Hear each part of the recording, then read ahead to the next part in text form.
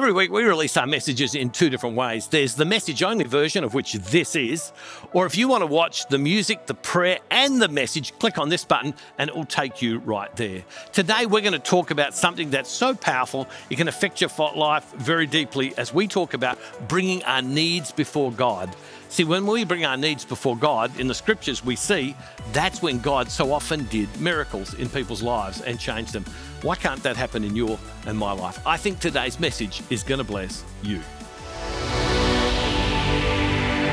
Well, hello, everybody. It's wonderful to have you with us. I pray wherever you are that you know that God is with you exactly in the place where you are.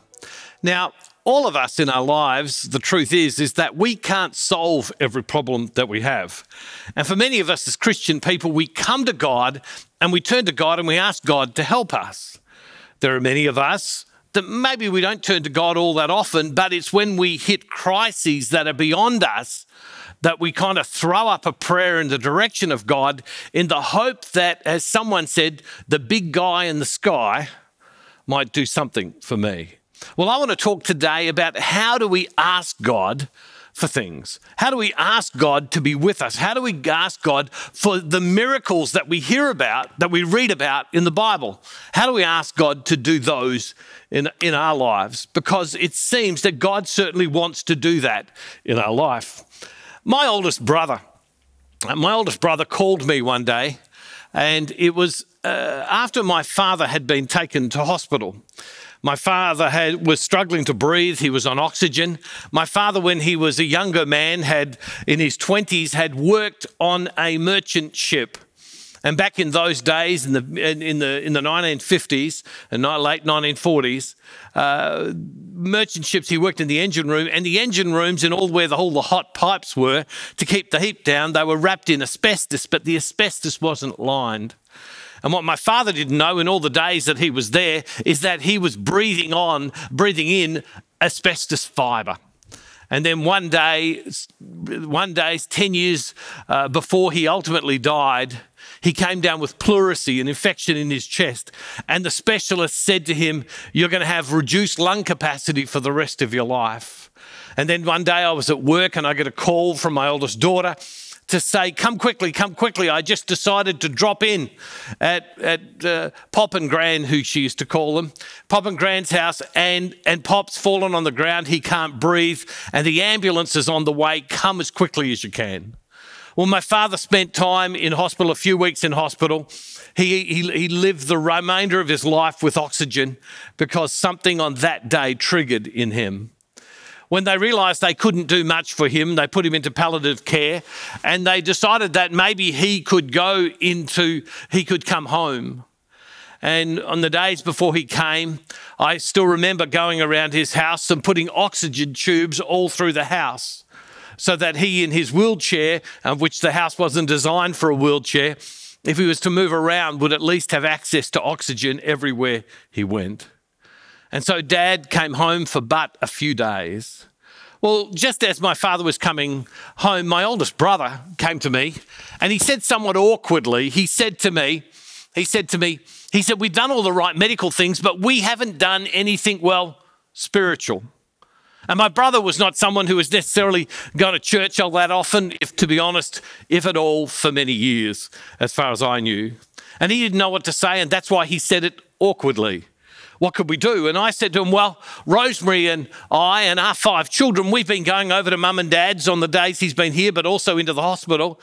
And we've been doing what the Bible says. We've been standing around his bed and we've been laying hands on him and we've been praying for him. See, in the, in the, in, in the church, we're taught, in the scriptures, we're taught that when we lay hands on people, a whole number of things take place from support and love from the power of God that, that resides in us, blessing a person. That we see that laying hands on people can be done in a ministerial way uh, by priests and, and pastors, and it has an authority to it. And it was the way we saw that often Jesus did healing. He laid hands on people. And we're all encouraged to do exactly the same in our own, in our own lives. And so I said to my brother, Rosemary and I, and our children, we come and we gather around dad's bed and we pray for him. And my brother immediately said to me, How come I haven't seen you do that? And I said, Well, you know, I'm the religious nut in the family, as we all know. And I didn't want to be kind of forced it on anybody, so we've just been doing it ourselves. And he said, Well, would you do it in front of me if I was there? And I said, Sure, no problem. He said, Would you do it in front of others, this standing around the bed and the hands thing and the and, and the prayer? And I said, Sure. Well, dad had come home, as I say, just for a couple of days. And, on the Saturday, uh, my brother calls the entire family he says, and says to them, We're going to gather at mum and dad's house on Saturday night. We're going to have dinner there. And dad was there. He was in, in his wheelchair, connected up to the oxygen. And he wasn't really just completely aware of everything that was happening at that point in time. And then all of a sudden, I didn't know what my brother was up to, but all of a sudden, my brother calls everybody into the long, narrow kitchen that we had grown up as boys in. See, I come from a family of five boys. I have two older brothers, two younger brothers. And here we all squashed in to this kitchen now as grown men with our wives and all of our children and mum and dad. And my brother said, eh, said to everybody, he said, he said, we've done all the right medical things. We can't get any better medical help that's available here than we, than we have for dad. But we haven't done anything spiritual. And the other day I was talking to Bruce and I asked him about doing something spiritual. He said, I don't know what, but I asked Bruce, and, and Bruce said, Well, Rosemary and the kids, they've been gathering around dad and they've been laying hands on him and they've been saying a prayer. And I, and I said to him, How come I didn't know? And, he, and I said to him, Would you do that in front of us? And he said he would.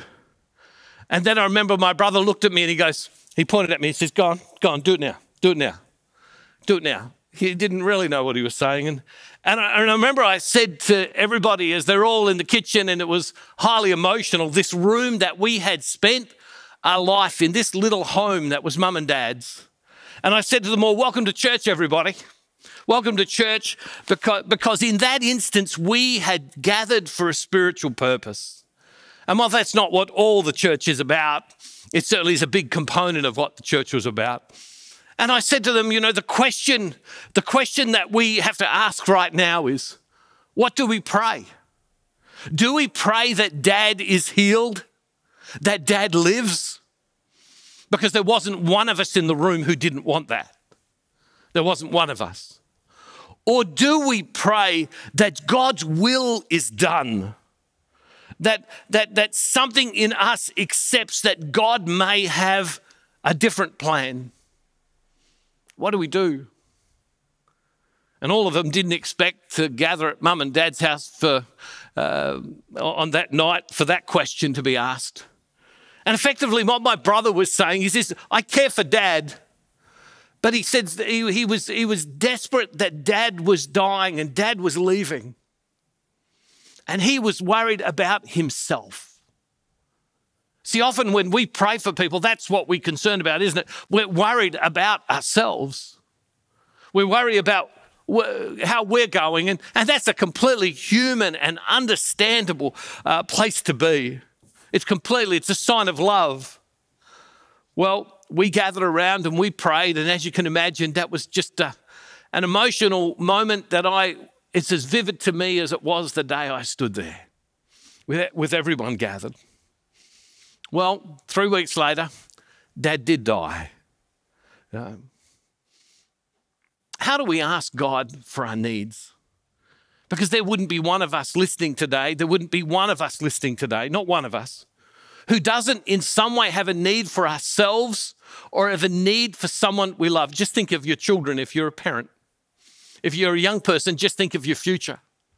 If, if, you're, if you're someone in a place of authority, just think of your responsibility.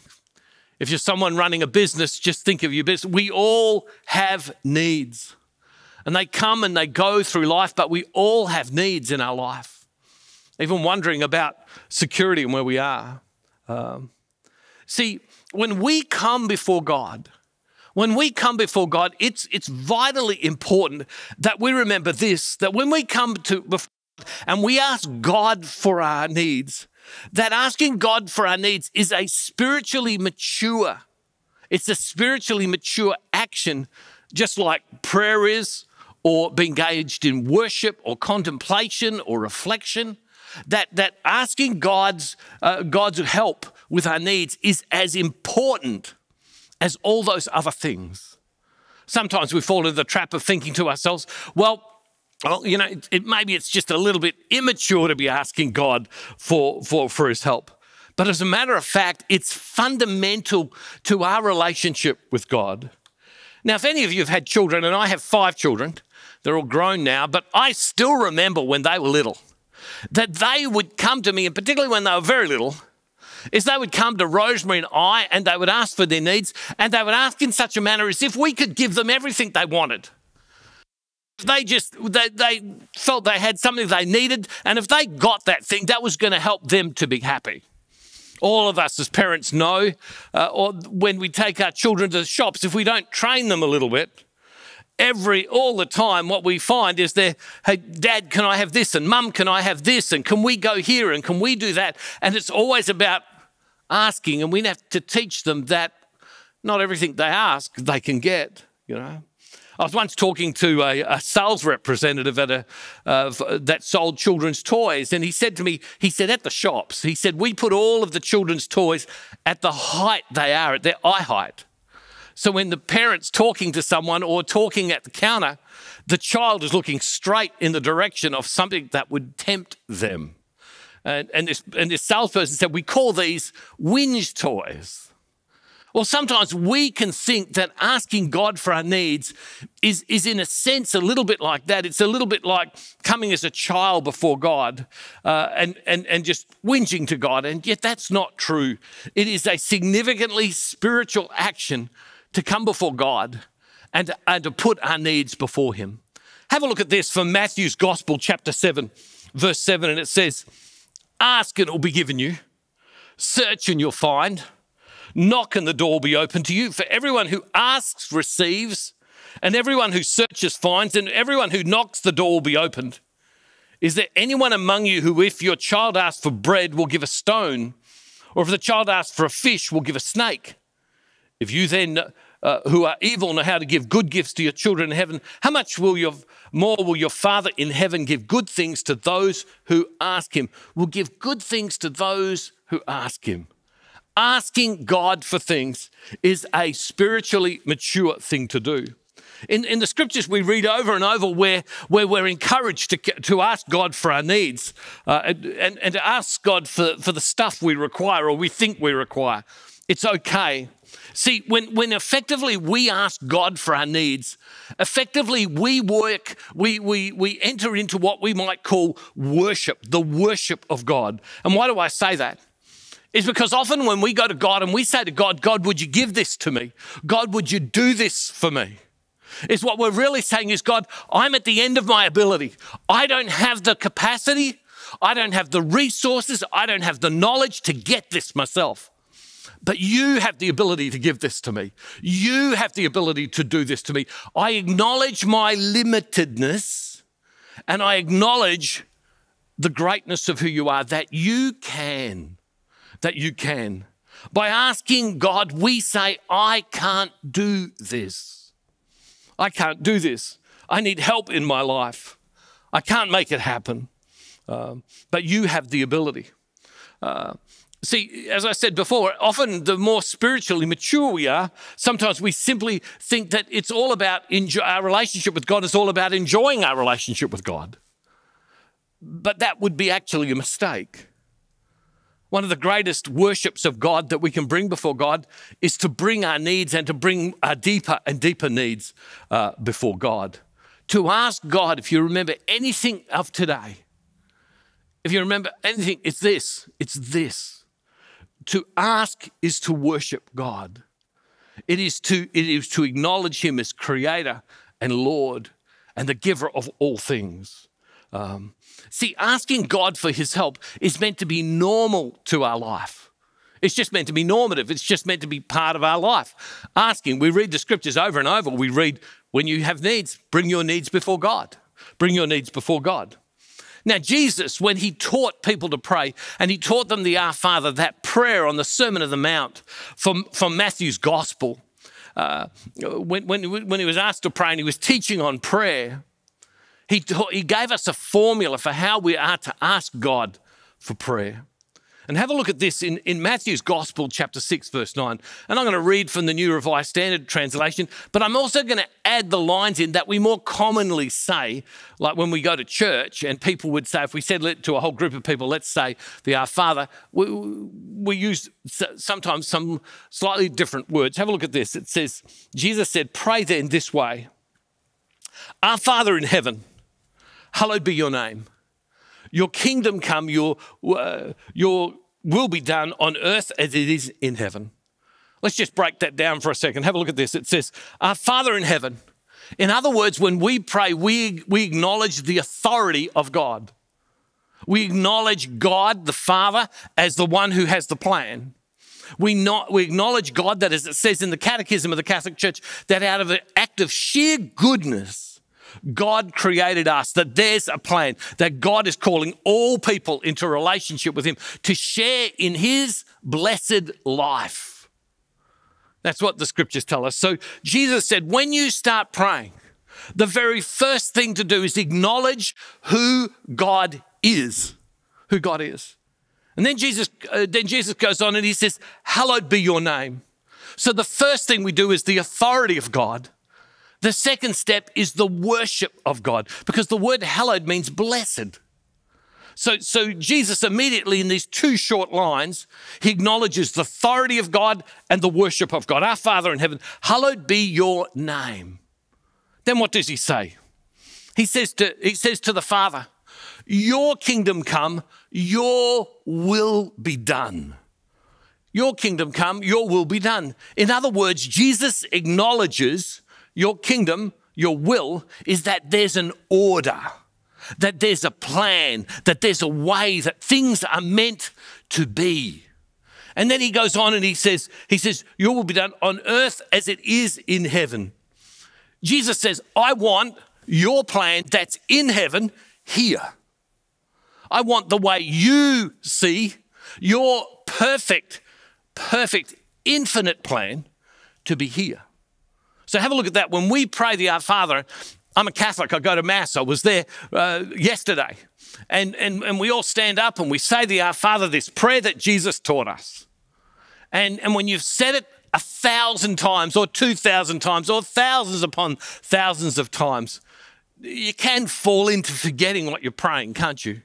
Familiarity sometimes is the greatest destroyer of our relationship with God and our experience of God. And we stood yesterday and we said, Our Father in heaven, we recognize the authority of God. Hallowed be your name. We worship you.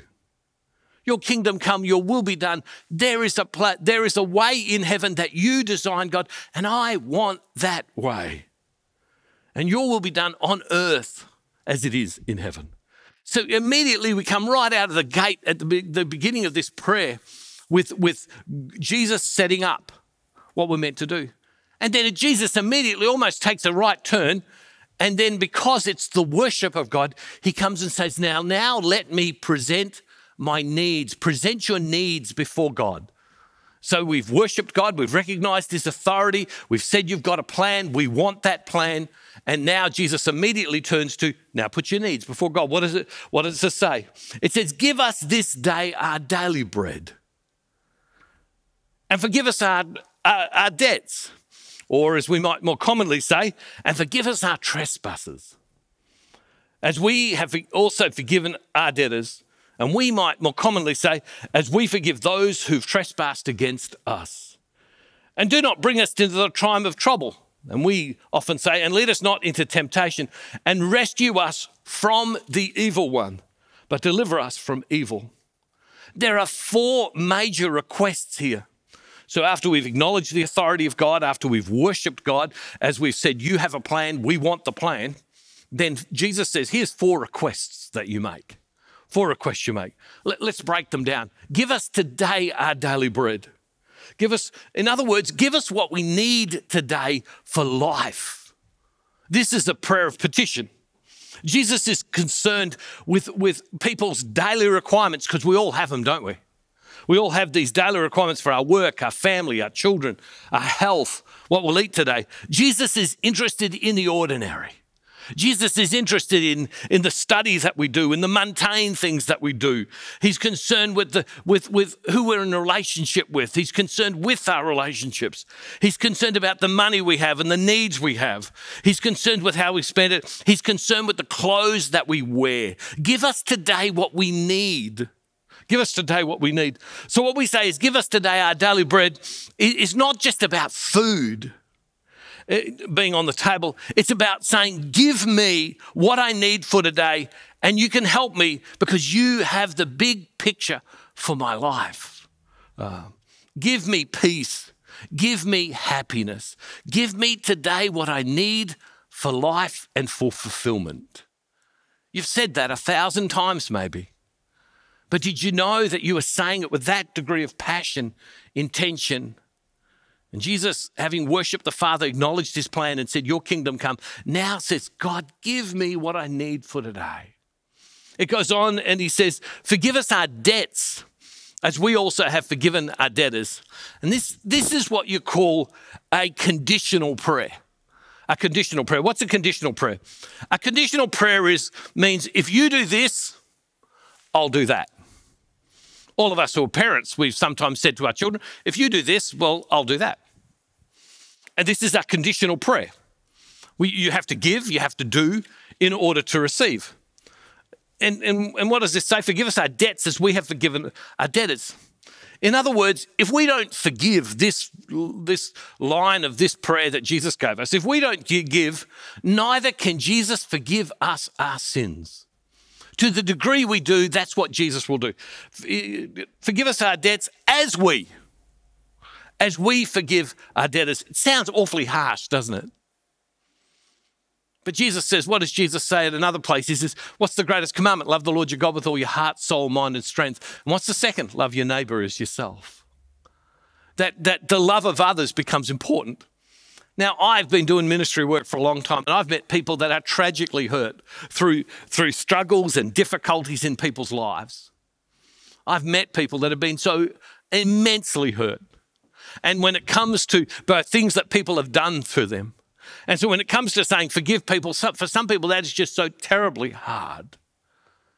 But but we have to realize that forgiveness doesn't mean that we put someone back into our life necessarily who hurt us.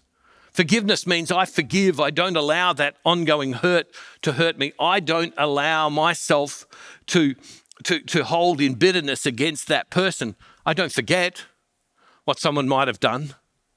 I don't have to put them back into my, into my life in the place that they were so that they could hurt me possibly again. But I am called to forgive. See, God is the provider of the grace that gets us to, gets us to that place to be honest, it's so terribly hard.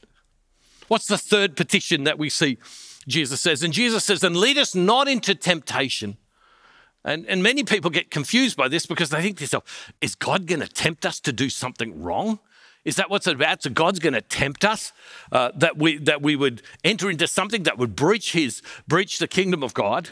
Uh, and well, well, if you study this, it's really far deeper when, when we think about what God is about and the relationship God wants with us, God wants a relationship with us. God and God wants that relationship with the inside of us, with who we truly are. And, and Jesus once said that it's out of the mouth comes the intention of the heart, what we're really like. Jesus says, you know, what you say often is what's an indication of what's within, within you. Uh, Jesus is interested in the content of who you are on the inside uh, in your heart, uh, what we're like on the inside. And so when it says, lead us not into temptation, someone wrote this and said it means, Lord, maybe there be nothing in me that will force you to put me to the test in order to reveal what is in my heart.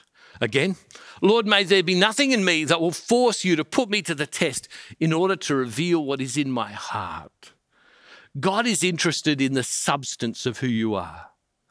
If we have a look at the definition of integrity, what's integrity? I've often heard it said, integrity is who you're in the who you are in the dark when no one's looking. What are you really like? Because we can all put on, well, our game face, we can all put on our presentation face to someone else. But what are we truly like? And, and the older I get and the longer I walk with God, is that I realize that the true change in me is not about my actions. It's just not. It's about what I'm like on the inside. Because who I am on the inside, in a sense, is my truest self. Until the day I die, I'll probably always mess up and do wrong things because my actions just do. I'm faulted, I'm weak, and we all are.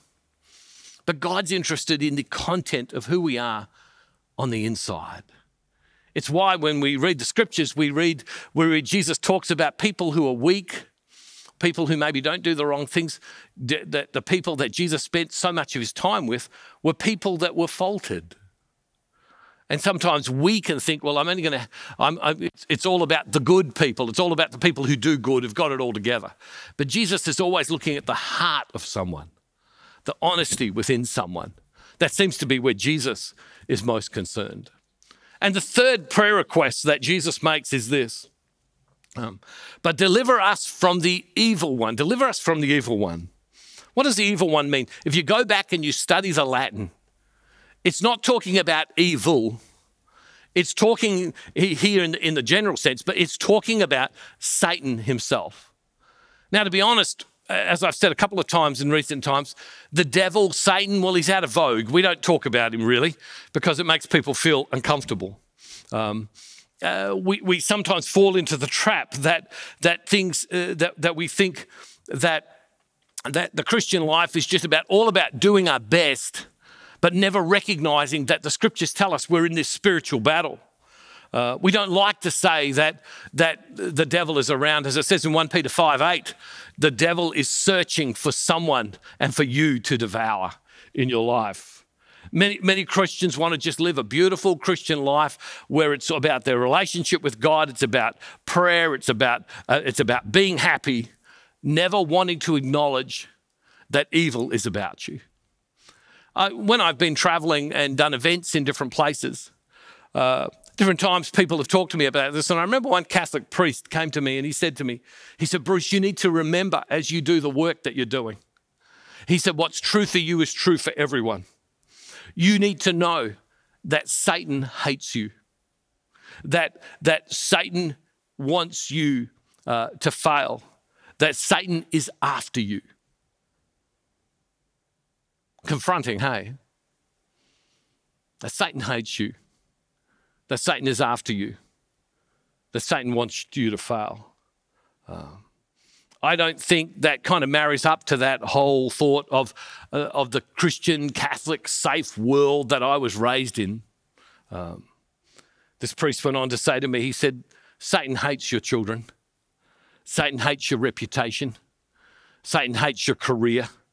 He hates the things that are best for you because he is opposed to God, who in an act of sheer goodness created you to share in his blessed life.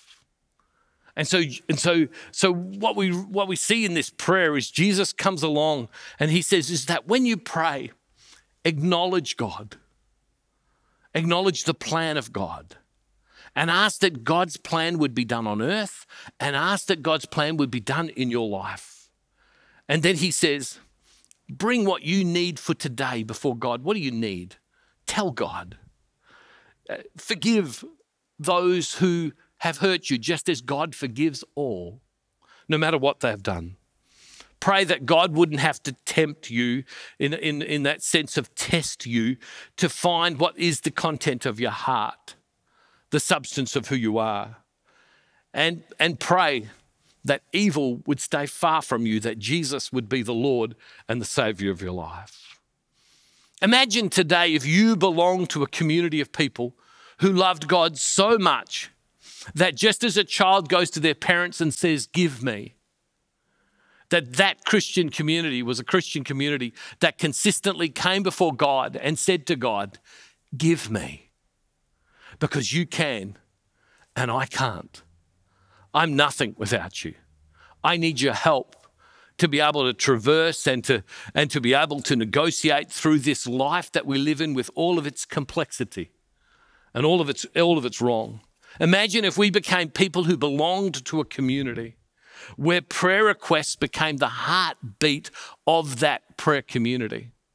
as they laid their needs before God, worshiping God, and saying, God, you are the only one. Imagine if we prayed for a deep fervor for our families, for our children, for our grandchildren, for our spouses, for our friends, for our leaders, for our world. Imagine what the world would be like if we prayed with passion. Imagine if we prayed for peace in our world. Uh, imagine if we prayed, as Jesus says, you can't truly be a Christian if you don't look after the poor and the weak. Imagine if we were people who prayed for them. Imagine if we stormed heaven together, saying, God, your kingdom come in my life, in the substance of who I am. Imagine if you placed your needs before God without apology, without saying, I'm sorry that I'm asking, and believing that the miraculous power of God will work. Imagine. Well, in our ministry, people write to us all the time, and people ask us to pray. And we have some people that very diligently pray and ask the Lord's blessing upon the needs that are given and sent. And I want to say to you today if you go to this address on this screen and you write your prayer requests, there are people that will pray for you diligently, diligently, who will truly hold up your needs before God.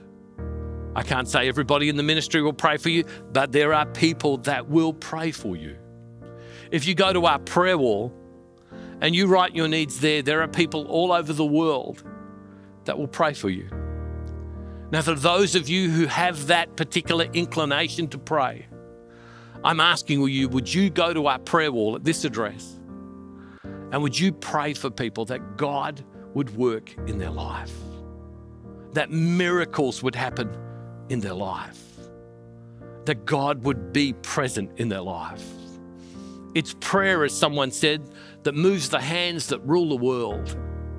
It's prayer that does that. What would happen if we were that community?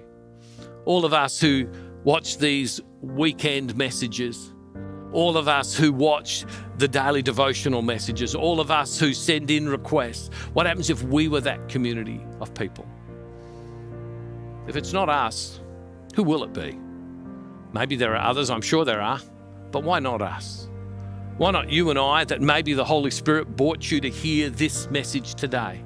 So that you would be someone that would pray and ask for the provision, the power, and the blessing of God upon our world and upon the lives of those we love. Our world is desperate today, and prayer is the answer more than anything else because prayer will lead us into the heart and to the mind and to God's will in our lives. Imagine if you had the mind of God, the heart of God, the kingdom of God surrounding you exactly in the place where you are. You would be a different person and you would help change the world. Loving Father, we thank you today that you're with us. I pray, Lord God, today that you would allow us to see that when we bring our prayer before you, we worship you because we say, God, we need you. And Lord God, if there are people today who maybe only pray when there's crises come.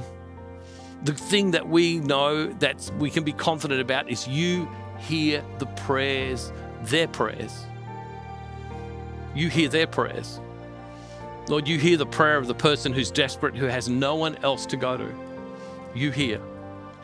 And Lord, but equally, you hear the prayers of those who come before you who work at developing a deeper and deeper, a deeper relationship and open their life to your grace, your ability to be who we can't be.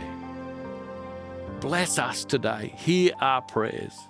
And Lord God, as we go into the prayer wall, as we send prayer requests, as we share stories of your answered prayer, because you are the God who does the miracles to change lives, may it build our faith and cause us to bring our needs more and more and more before you.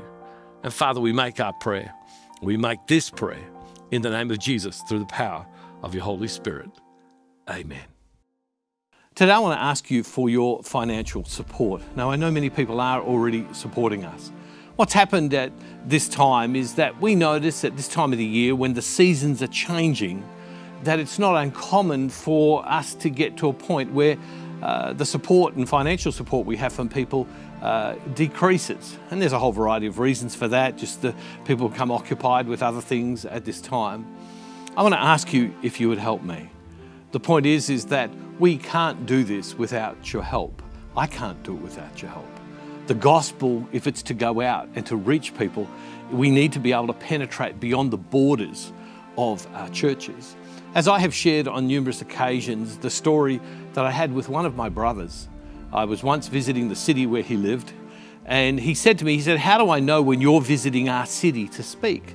And I said, Oh, it's in all the church newsletters, church news bulletins, in, in the central church offices, you'll be able to find it. And I've never forgotten, he stopped because we were walking together and he paused and he said to me, I looked back, I said, What's up? And he said to me, Then I'll never hear because I don't go to church.